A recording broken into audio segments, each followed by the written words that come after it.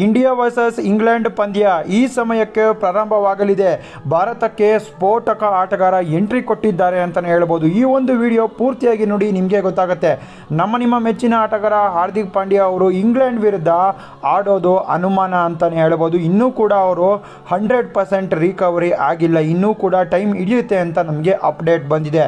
India versus England October ಇಪ್ಪತ್ತೊಂಬತ್ತನೇ ತಾರೀಕು ಬೃಹತ್ ದೊಡ್ಡ ಪಂದ್ಯವಿದೆ ಅಂತ ಹೇಳ್ಬೋದು. ಭಾನುವಾರ ಎರಡು ಗಂಟೆಗೆ ಪ್ರಾರಂಭವಾಗುತ್ತೆ ಎಲ್ಲಿ ನಡೆಯುತ್ತೆ?